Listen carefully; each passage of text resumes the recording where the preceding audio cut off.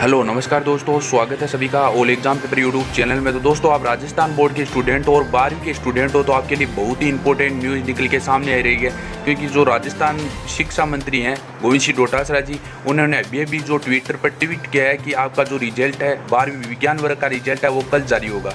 मैंने आपको पिछले वीडियो में बताया था कि जो रिज़ल्ट है, इसी हफ़्ते में जारी होगा। बारहवीं विज्ञान वर्ग का रिज़ल्ट है और देख सकते हैं ट्वीट के माध्यम से कि गोविंद सिंह डोटासरा जी ने कहा है कि कल राजस्थान माध्यमिक शिक्षा बोर्ड अध्यक्ष डॉक्टर डी पी जारोली की उपस्थिति में अजमेर से दोपहर चार बजे है बारहवीं विज्ञान वर्ग का है, परिणाम वो जारी करने का कार्यक्रम होगा, जिसमें आप जो रिज़ल्ट देख सकते हैं, उसकी वेबसाइट है राज ऑफिशियल डॉट कॉम पर आप है, जो रिज़ल्ट आपका देख सकते हैं। और दोस्तों, मैंने पहले भी आपको बताया था कि रिज़ल्ट है, आपका है, इसी हफ़्ते में आने वाला है।